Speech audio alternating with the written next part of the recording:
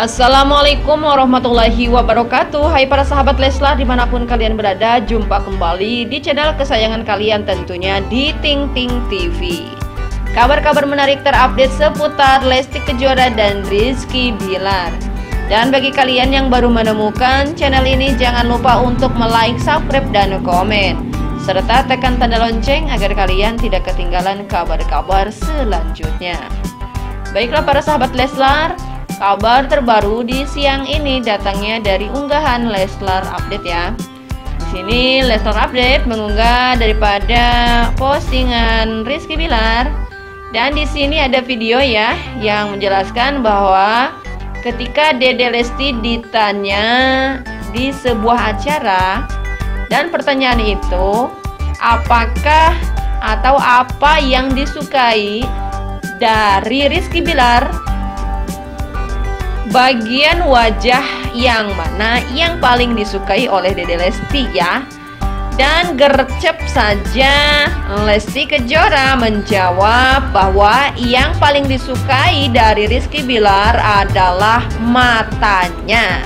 Wah, di sini kita bisa menyimpulkan ya. Makanya setiap hari dan setiap di berbagai acara Lesti Kejora selalu memandang mata Rizky Bilar. Rupanya mata inilah yang disukai oleh Dede Lesti. Dan dari postingan tersebut tentu dibanjiri oleh banyak komentar ya. Di antaranya ada akun Instagram Cemplung Nurha Kenapa harus di bagian wajah sih? Bagian lain boleh nggak? Hehehehe, traveling. Itulah komentar dari para sahabat atau para fans ya dari uh, fansnya Leslar. Dan ada juga unggahan dari Leslar Update juga ya. Ia mengunggah postingan daripada Dede Lesti di sini terlihat Dede Lesti tengah duduk dan membuka sebuah tas berwarna hitam ya.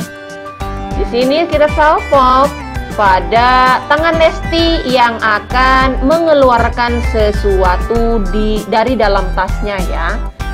Wah, kira-kira apa ya yang akan dikeluarkan dalam tas Lesti ya? Kita jadi penasaran. Kita tunggu saja di video selanjutnya ya Tentunya bersama Ting Ting TV Itu dulu kabar terbaru dari Rizky Bilar dan Lesti Kejora. Sekian terima kasih. Wassalam